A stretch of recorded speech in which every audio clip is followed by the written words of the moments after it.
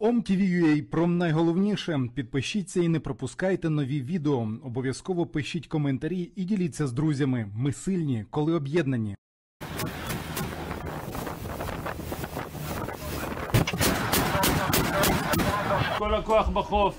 Израильская армия всю ночь наносила удары по террористам. Сектор Газа продолжает находиться без интернета и связи. Израильская армия заявила, что истребители поразили 150 целей в ходе ночных ударов. Террористические туннели, подземные помещения и другую дополнительную инфраструктуру. Израильская армия также заявила, что совершила воздушный налет на объект Хизбаллы на юге Ливана. Эта атака стала ответом на ракетный обстрел Израиля. Цахал отчитался о ликвидации Асема Абу Ракаба, главу авиационного подразделения Хамас. Он отвечал за подготовку нападения 7 октября, атаки беспилотников, парапланы Хамаса и противовоздушную оборону. Хамас заявила, что на земле происходят жестокие бои. В Бейт-Ханун на севере сектора и восточном Бурейдже в центре.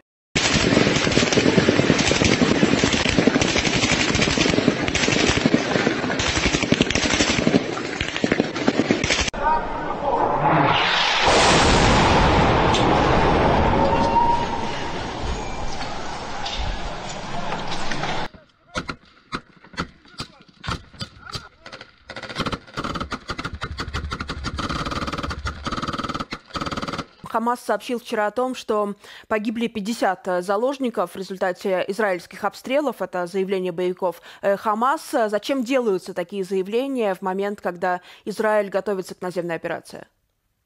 Это психологическая война. К сожалению, к сожалению, э, инструктора, те, кто натаскивали этих зверей на террор, это Э, российские и советские спецслужбы, начиная с 50-х, 60-х годов. Они действуют по той же указке.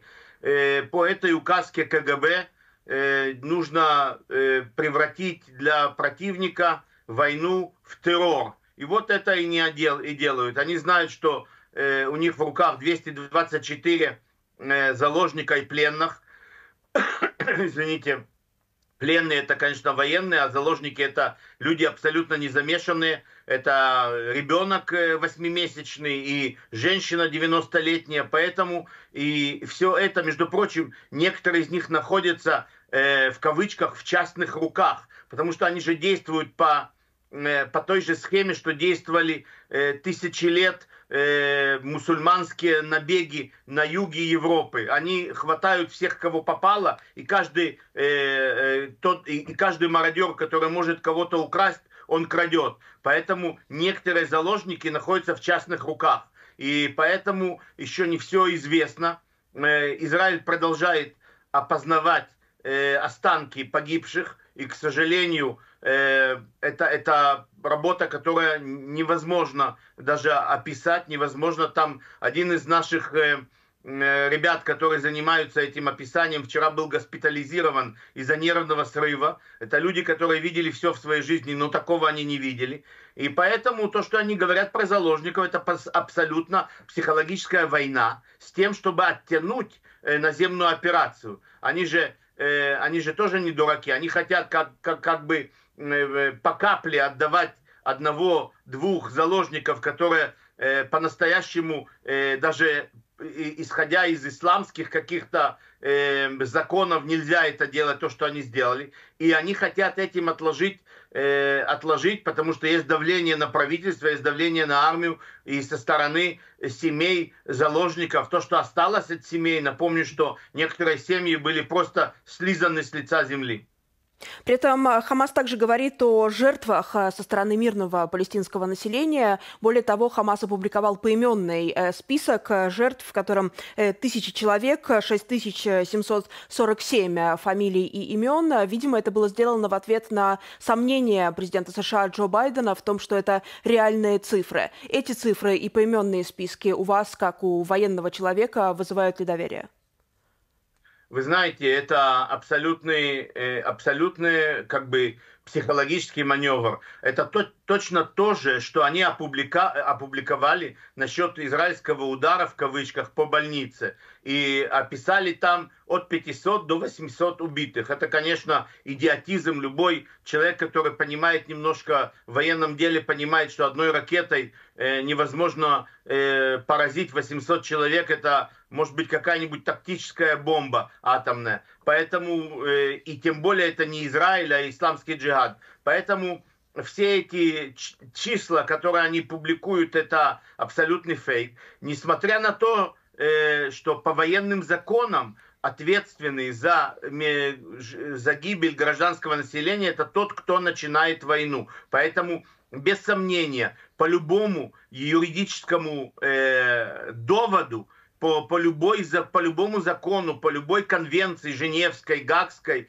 те, кто начал эту войну, они ответственны за жизнь мирного населения как в Газе, так и в Израиле. Поэтому у Израиля есть полное право, юридическое, международное, законное, по ООН, по любому э, канону, по любой религии э, защищать себя и уничтожать тех, кто уничтожает э, нас. Напомню, что э, использование живого щита, что они постоянно практикуют, э, в том числе не дают э, мирным в кавычках жителям. Сейчас я вам скажу кое-что про мирных жителей. Они не дают им эвакуироваться из севера Газы, и они их э, оставляют именно для того, чтобы послужить живым щитом, что само по себе является военным преступлением. Э, вчера, позавчера было опубликовано э, аудио-видео э, террориста, который позвонил из телефона убитой, замученной, изнасилованной заложницы своим родителям, и он им говорит, папа, мама, я лично убил своими руками, посмотри, посмотрите на фотографии, которые я вам присылаю,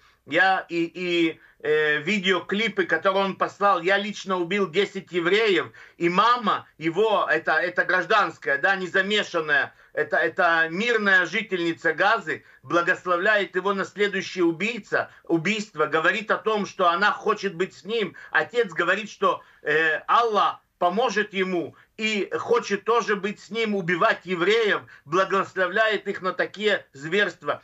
Таких кадров Израиль показал тысячи журналистам. Я, я лично был в этом районе, там я, я не был в самом зале, где показывали эти кадры, но я вам хочу сказать, что когда я видел их выходящим после 43 минут подачи им э, настоящих, э, как бы, ну, не, не отредактированных новостей, я видел, что журналисты из Бразилии, из Индии, из всего мира падали без, без сознания почти, и они теряли возможность вообще даже контактировать с людьми после этого. Я не знаю, останется ли этот стресс и как он э, ну, доставляется в людям в мире, потому что э, такие, как э, президент э, Турции, э, королева Иордании или ООН, который осуждает Израиль за неравные э, действия в Газе, то они даже Э, не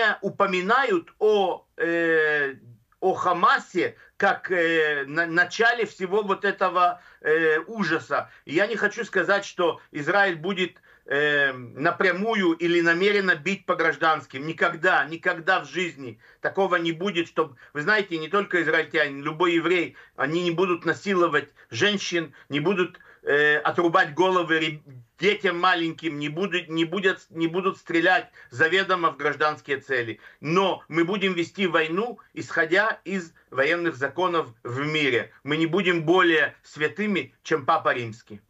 Мы не могли, к сожалению, показать в нашем эфире те кадры, о которых вы упомянули по этическим причинам. Мы освещали, конечно, то событие, которое произошло в Израиле для журналистов, освещаем события нападения Хамас на Израиль. Напомню, 21 день уже продолжается война Хамас против Израиля. Постпред Израиля в ООН уже истерически призвал, он в самом деле переходил на крик, призвал генсека организации немедленно уйти в отставку.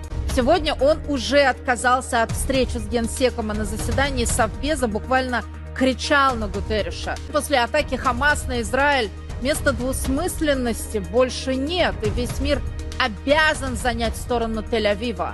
В противном случае, как он выразился, человечество ждут самые темные времена. Шиитская группировка «Исламское сопротивление» в Ираке заявила о нанесении ракетного удара по американской базе Харап-аль-Джир на севере Сирии. Параллельно в США признали, что накануне в результате атак по американским военным объектам в Сирии и Ираке 24 военнослужащих ранены.